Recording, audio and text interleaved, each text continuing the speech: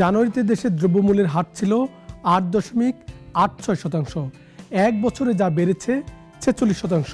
এই চাপে থাকা মানুষের জন্য স্বস্তির খবর দেয়া কঠিন। অর্থনীতির চালচিত্র অনুষ্ঠানে আপনাদের স্বাগত জানাচ্ছি। সঙ্গে আছি আমি সাইদ আরমান। প্রিয় দর্শক, শুরুতে একটি সুখবর দিতে চাই। সরকার সর্বজনীন পেনশন প্রক্রিয়া আরও এগিয়ে নিয়েছে। তবে সুযোগ নেই সরকারি চাকরিজীবীদের। গঠন করা হয়েছে কর্তৃপক্ষ। গত সাত বছর এটি নিয়ে কেবল আলোচনা ছিল। অবশেষে তার চূড়ান্তকরণের দিকে যাচ্ছে সরকার।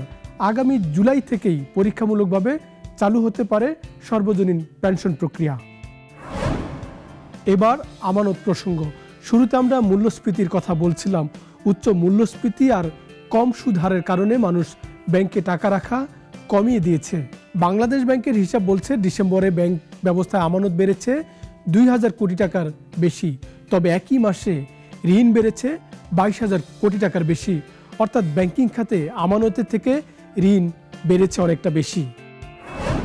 দর্শক, সবার উদ্বেগের কারণ কালো টাকা। তবে পুঁজিবাজার সংশ্লিষ্টরা সেই কালো টাকা বিনিয়োগের সুযোগ টান তারা সম্প্রতি রাজস্ব বোর্ডের কাছে এই দাবি তুলেছেন।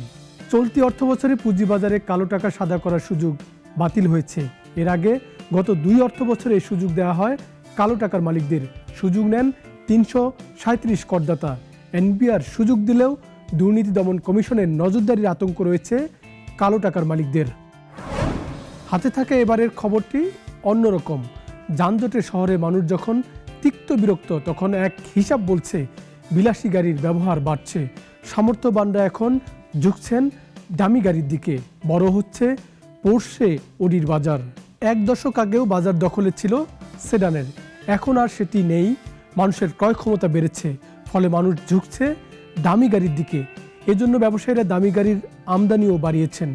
তবে ভয়ঙ্কর তথ্য হলো, সম্প্রতি ঋণপত্র না খুলেও গাড়ি আমদানির চেষ্টা হচ্ছে। দর্শক, অর্থনীতির গুরুত্বপূর্ণ খাত রপ্তানি নিয়ে একটি উদ্বেগের কথা জানাব। চলতি অর্থবছরের প্রথম ছয় মাসে রপ্তানি খাত স্বস্তি দিচ্ছে তবে পোশাকের কাঁচামাল আমদানি কমে গেছে। তাই শঙ্কা পোশাক রপ্তানির কি হবে? আমরা দেখছি জুলাই থেকে ডিসেম্বর এ মেয়াদে রপ্তানি বেড়েছে চোদ্দ শতাংশের বেশি। কিন্তু তুলা আমদানি তিন দশমিক এক নয় শতাংশ কমে গেছে আর সুতা কমেছে প্রায় বিয়াল্লিশ শতাংশ। এই বিপরীত চিত্র কিসের ইঙ্গিত দিচ্ছে? তবে কি রপ্তানি খাত হোঁচট খাবে? প্রিয় দর্শক জিডিপির আকার প্রতি তিন মাস অন্তর প্রকাশ করবে সরকার। দুই হাজার চব্বিশ সাল থেকে এটি শুরু হতে পারে।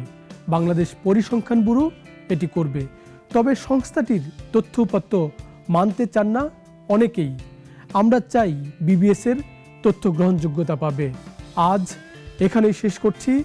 দেখা হবে পরের পর্বে। চোখ রাখুন নাগরিক ফেসবুক ও ইউটিউব পেজে।